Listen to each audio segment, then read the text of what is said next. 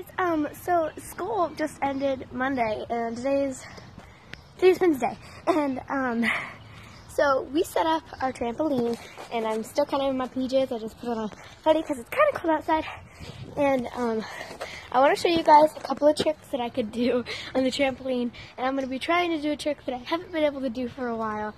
I could do it, I just haven't been able to do it for a while for some reason. Um, I just have to find somewhere to set my phone up. Good? Ah, hold on. Oh!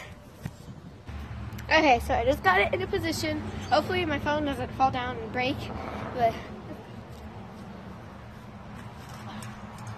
Okay, so first off is a backflip. and then um, front flip. And then um, one that I can do, um, kind of easy, kind of also hard. Um, you do a back flip, and then you do a front flip. Okay.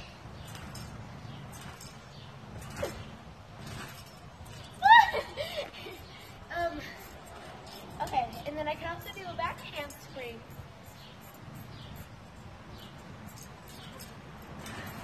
Um, and then I'm not very good at a front handspring, but I can still kind of do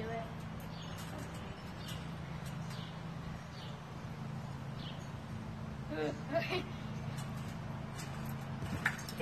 No, I can't really land it, but the one I'm going to be trying to do that I haven't been able to do for a while, um, basically, you do a back handspring, and then immediately after that, you do a front handspring.